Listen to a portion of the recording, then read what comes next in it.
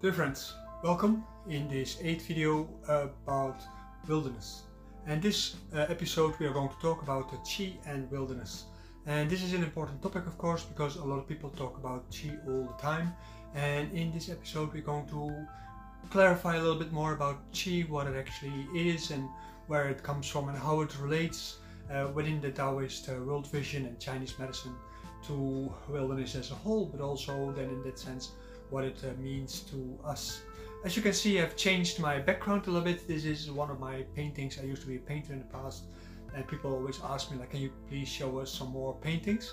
I am especially not going to sit in the middle of the painting because then, look, I am giving a wrong signal, and I don't want to do that. Also, um, this is uh, based on the idea of the yin yang as uh, the mountain and the valley, uh, which is an important theme in Taoism, of course. And uh, these are different variations of this uh, based on the meditation experiences I had in the past and uh, of course still frequency code frequently go through.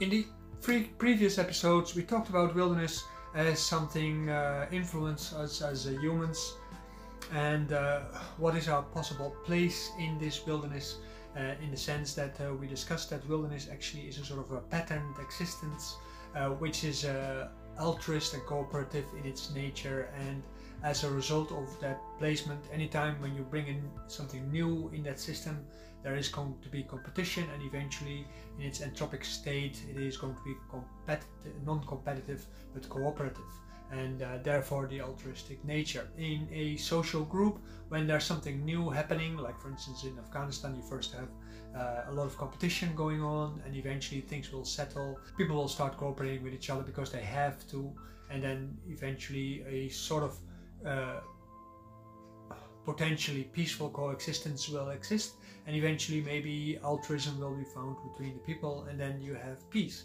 Of course, um, altruism is not something broadly recognized in the world. Uh, broadly, we see altruism as something that only holy people have, but altruism is something that is just plain, basic, natural. And that is a very important part of uh, the Taoist uh, uh way of thinking uh, because it seeks this kind of stage of existence where uh, people can be altruist, where nature's altruism can be experienced, and as a result, that everybody can benefit and nobody has to suffer. What we're going to talk about today is the inner and the outer relationship uh, between us and wilderness today. Uh, of course, we talked before about how wilderness is influencing us. In this episode, we will talk about how we are actually in that wilderness ourselves. And there are different options in that, but it has to do with our understanding of uh, the main structure of wilderness, which is uh, called uh, the tripartition idea or tripartition theory of uh, Taoism and Confucianism follows the same rule basically where we divide the world in uh, heavenly spheres in the earthly sphere and we are living in between. We mentioned it in one of the earlier videos but uh, today we're going to go a little bit deeper into that and then specifically in relationship to the Ling body uh, which uh, provides us with Ling Qi and Ling Qi is what they talk about in Reiki uh, the Japanese uh, version of uh, well Ling Qi. That's basically it. And um, we are going to see that into a larger context and we can learn to accept a little bit more about why in Taoism they say we are too much in a hurry and we miss therefore the point in our modern spirituality and things take time to develop um, and it will be very clear. And for this we have to ask ourselves a few questions.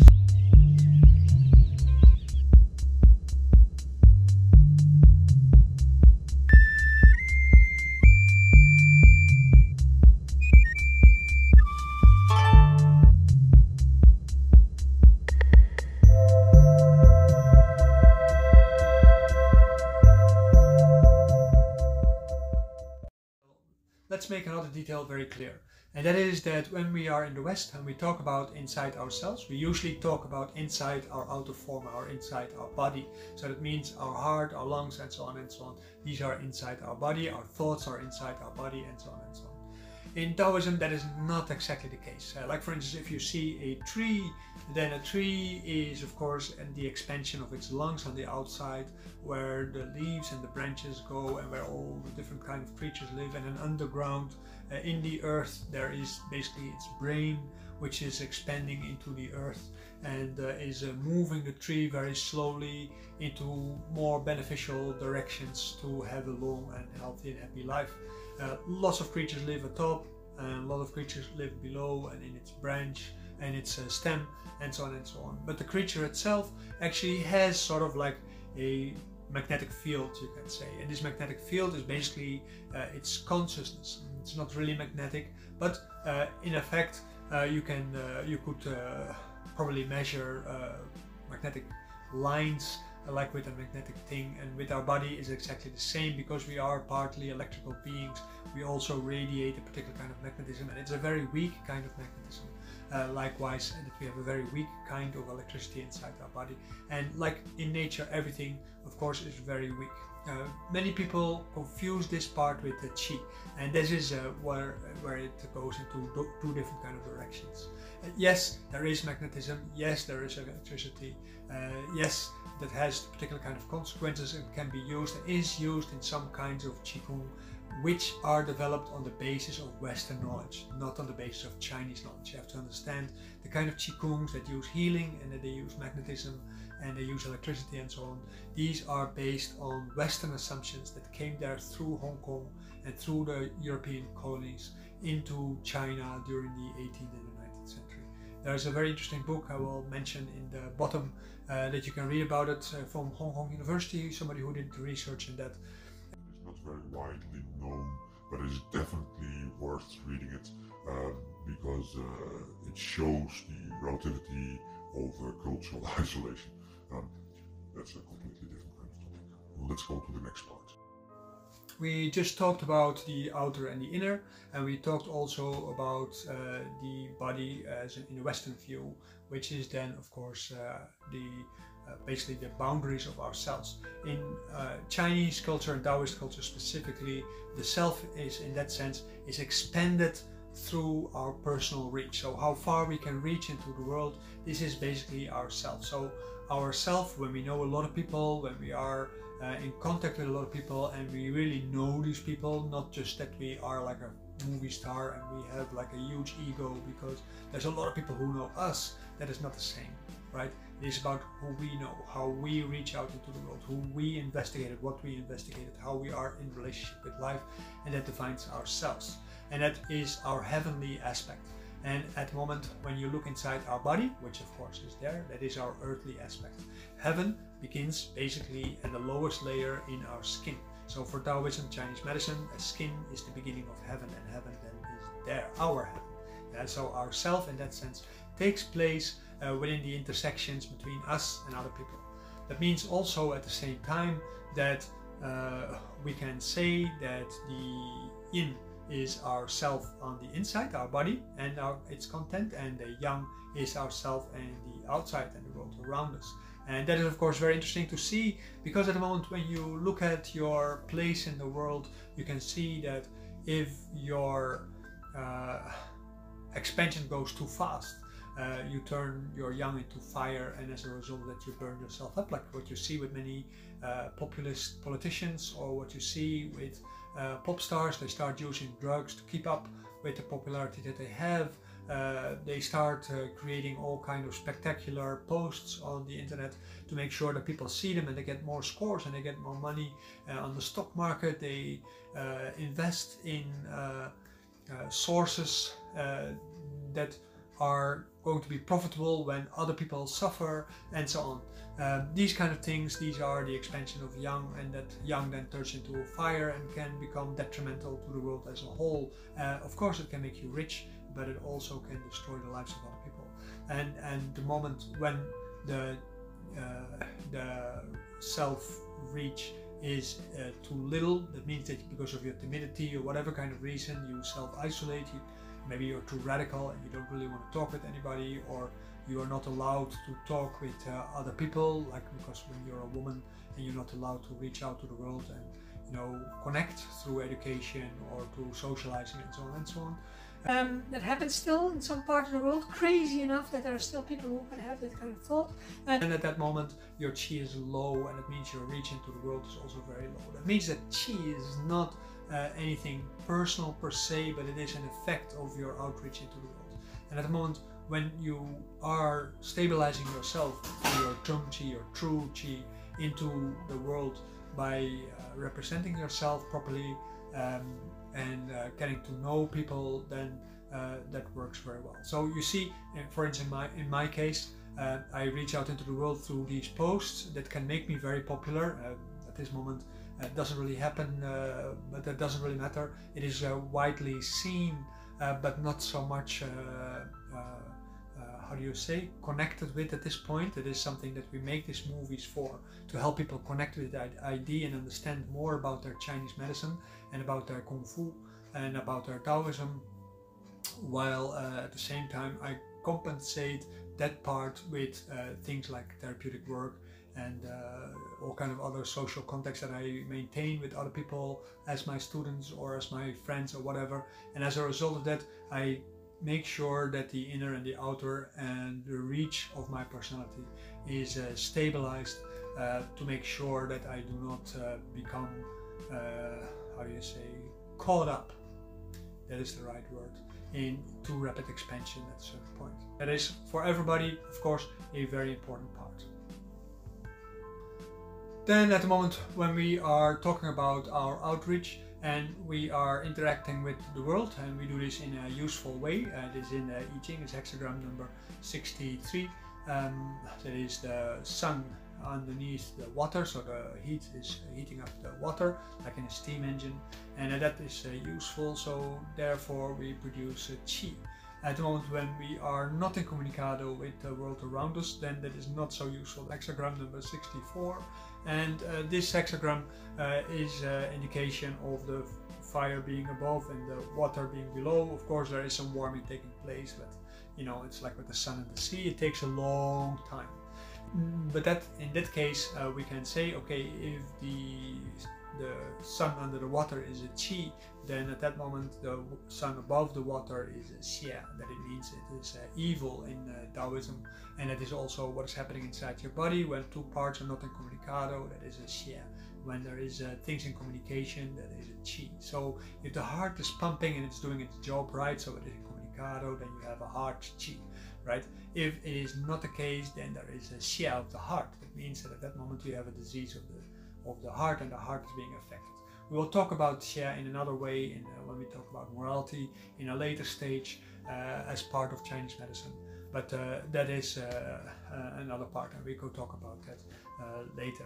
One thing that is very important is that when we talk about the interaction between heaven and earth, you see that the chi of heaven works in straight lines. So chi never goes in a zigzag or something like this, but the chi of heaven always goes in a straight line and the chi expands in all directions at the same time. So the expansion of heaven is linear, and it means that the chi of heaven that comes down to us on earth is in a straight line. And at the moment when it enters our body, like what we learned to experience in the yuan chi meditation, also for free available in our channel. So uh, look at the link uh, for these free classes. At the moment when you see the yuan chi uh, of the heavenly chi coming inside your body, you see that it's a straight line, and because of this straight line, um, it actually uh, diffracts at the moment when it comes to a barrier. So the heavenly chi is very fragile, and when it bounces into something, it just diffracts and it disappears. There's no more heaven chi. So, for instance, if you say like, okay, I have the heaven chi or the heavenly energy coming through my body, and as a result that I can do healings, like what people do with Reiki, that means they don't really understand the Ling Chi principle, and they don't understand really the heavenly principle because it only comes in a straight line. At the moment when you can take it, you can take it. If you can take it and you can manage it, and at that moment move it into another direction or make something else out of it, it becomes you personal. That means it's your personal chi. So when you do a healing, it is always your personal chi that you give, and as a result of that, it will exhaust you. And at the moment when it does exhaust you, it will make you sick, and you will attract also the xia of other people. As a result of that, you change their karma, and you also change your karma. Their karma will be better because their life will become easier, unless when they keep on making the same mistakes, which is very likely, or uh, your and anyway your karma will become worse because you take their karma on your karma. You don't know where it comes from. So it is like an abstract problem that is inside you. It will harm you in the long run. And that is why you see that many healers on the long term they die either early or they get all kind of strange diseases. And um, well almost all healers that i know are not very healthy in their habits or in their uh, life periods. I've been a healer myself, I've done that kind of work, and I've seen the negative effects. And then you can say, like, well, maybe we're not good enough healer. Yeah, that is true. No healer is good enough. Uh, that is very basically it. Healers also become a little bit spooky as a result of that, and people got strange ideas from healers. They see them as a divine creature, or they see them as a witch, or anything like that. And in all cases, that is negative for the healer uh, because the healer becomes isolated, and as a result, that his chi diminishes. So that means that the, the biz, the business or the work of being a healer in that sense also gradually diminishes the healer uh, at the same time. When we talk about heaven and earth, we can say from both they have uh, chi, and this chi is originating in the yang of earth and the yang of heaven. Uh, of course, yes, the earth is yin because it is contracting, but the activity of the earth itself is uh, is uh, is uh, is yang. When the heaven chi comes into the earth, it is being absorbed inside the earth, like what we do in the yuan chi practice. And then at that moment, because our cells being body also and the earth also being body, that at that moment the earth chi, the heavenly chi is being absorbed, and from there are made the earthly forms. And the earthly forms, in that sense, are the different kind of things that you can say, oh, okay, it's a tree, it's a bird, it's a dog, it's a woman, it is a man. Yes, so all these kind of things, these are being created simply because of the way how um, well, uh, heaven enters into the earth. And that means that the yang of earth and the yang of heaven, they both actually do things. The heavenly chi expands and the earthly chi grows, basically. And the generation of the things that it grows, like me or like you, uh, we have particular kind of activities. If our life is pretty much useless, we are not representing Earth properly, and as a result of that, our chi is going to be weak and at the moment when we represent nature uh, better, then automatically our chi becomes uh, strong. Strong, weak does not mean that you're going to be all famous or successful or anything like that. It just means that you are strong. I know this one uh, woman, she had a very strong chi. Nobody really liked her because the chi was way too strong, and as a result of the strong chi, um, people tried to avoid her. So uh, as a professional, she was basically unemployed because uh, nobody liked her because of the because of the uh, well because of the, the strong chi. She was too strong. A lot of more things that I can talk about that. I hope anyway that you like this video and at the moment when you like this video I hope you're also going to support us. It's not that I'm going to beg you for that because these videos are for free, it's a service but of course the more uh, support we have even if it's just through a like or through a mem uh, membership subscription on YouTube which is for free uh, or through a financial subscription on our Patreon or through participation in our app uh, where you can uh, do you say that uh, um, exercise in all kind of systems to help you get to that point that will be really great uh, because that means our community will grow, more people will become enrolled in these kind of practices, and then it can become more norm because that's basically what you want. Okay, uh, I look forward to see you in the next video. We are going to go through all the topics that are relevant for Chinese and Taoist medicine over time. If you have any questions, contact me, uh, ask them. There's every Friday there is a Q&A session I'm going to try to get these on multiple channels the coming time uh, to make sure that uh, you can find me more easy and also can find these videos more easy as a result. So I look forward to see you and uh, help me reach a wide organic reach by spreading these videos.